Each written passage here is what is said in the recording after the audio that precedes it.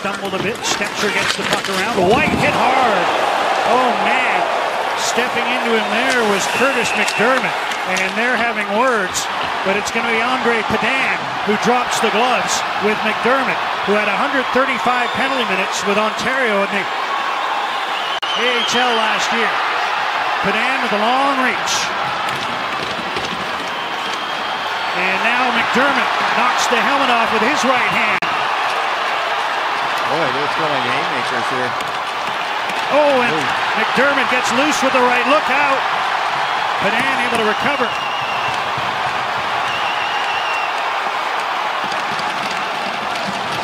Tomas Hyka, he'll play it in. Nosek took a good hit along the boards. And now Engelland's going to jump in. There was MacDermid that put the hit on Nosek. And England took exception to it. Well, MacDermid's got some size, 6'5", 208, and of course the veteran Derek Engelland, no stranger to this situation. MacDermid trying to get the right loose. Both players trying to get their arms free. It's not always easy to do.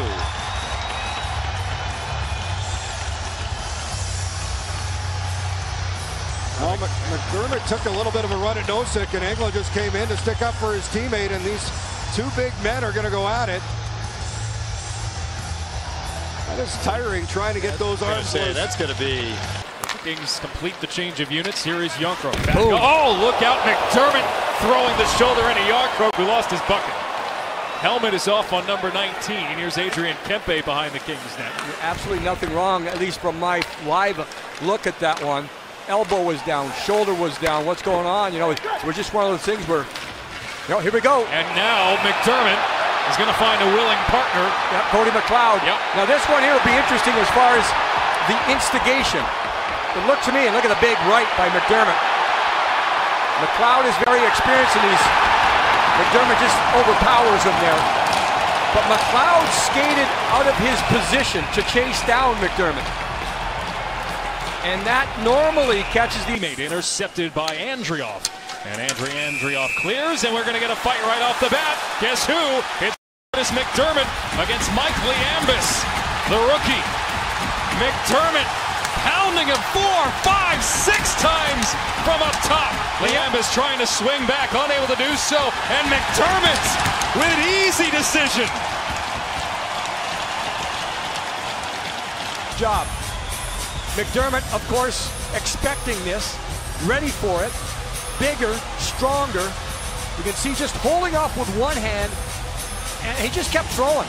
He never, ever, ever, one attempt by Liambas, that's it. Two attempts, that's it. That's all he got off. You can see, you, look at that. Great example there, guys. Great look. You could see the reach advantage of MacDermid. And tries to get in there, but he can't. Minnesota against Jussi Jokinen, who prevails and gloves come off, and it's MacDermid and Chris Stewart. This is a heavyweight tilt. Yeah, it looks like the technique. Boxing stance right off the get-go. Stewart tried to get the lefts going. Now he's throwing rights. So he just wants to prove he can throw with any hand. MacDermid's trying to hold him at bay. Reach issue. And Stewart changes hands again. Now they're both going. It was quiet here early at Staples. It's quiet no longer. And both teams are banging the sticks on the benches. Wow. MacDermid goes down, but both guys willing to give. But then he changes quickly to the rights. MacDermid says, okay, I'm going to just go with the sledgehammer here He dumps it off the boards. Antoine Vermette, who might be the second best faceoff taker in the NHL. He's on the fourth line for Anaheim, and here we go. This was expected. Jared Boll got called from AHL San Diego, and Kurtis MacDermid, who had a run-in with Ondrej Kase the last meeting in Anaheim back on November 7th. This is their first time they've matched up here at Staples Center. MacDermid obviously has the advantage as far yeah. as size. Now, Boll is very experienced. Last game in Anaheim, it was Boll and Andreoff. MacDermid has the right hand for you, so does Boll, but again, you, you can see Boll's trying to throw, and because of the reach difference, so far, he's not getting there. So he goes with an uppercut, trying to change things up. So both guys now back and forth, and maybe off the side of the head right there by MacDermid. does get the side again and again, but it's very difficult to make the contact. The linesman wanted to come in there, but they decided to stay out, so we'll keep this Oh, going. this is a heavyweight bout. wow. Boll 6'3", 209. MacDermid 6'5", 208. Boll's waiting for that one.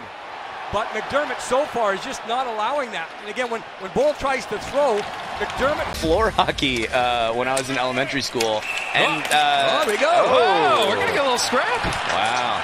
roll him up. All right. With the left hook. Josh Brown, big kid himself, Uh, six five. uh, oh! Matt goes with a Oh, stun he gun. gets in one. wow. there he goes. All right, work the body. Oh, he is. Got a kidney shot there. Yeah. Wow. Oh! Oh! I think we know who took that round. He's so pleased with himself. Here we go. Watch the left hand here. My, man. he tries the stun, stun guns there, just trying to get him going. Gotta get to work the jab. Yep. He gets hit there, oh, a little bit on the jaw, but I was just watching The Fighter the other night. It's uh, it's really hewing to the principles discussed in that movie. Long pass, Nick MacDermid. Shot. Stick save by Rittich. Lucic carries it out of the zone. MacDermid going all the way across, nearly lit him up. That's a heavyweight showdown.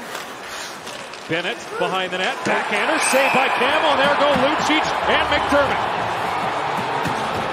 this is heavyweight against heavyweight. And of course, it originated on the hit. MacDermid on Lucic.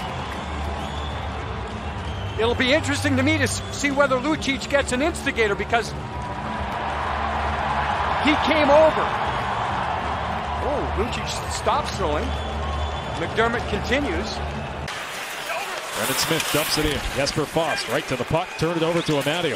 And Amadio gets clocked hard by Smith. Smith, yeah. Yeah, and MacDermid. An old school scrap is going to drop him here with Brendan Smith. Smith was very aggressive early in the game with Kyle Clifford with a hit. That time he took a run at the King, so now they're getting a chance to really square off.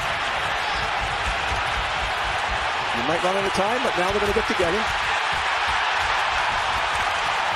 And it looked like MacDermid was leading with the right. Certainly had the momentum. They square off. It was difficult to see. Stun gun. Next one. Ooh. That second one might have caught him.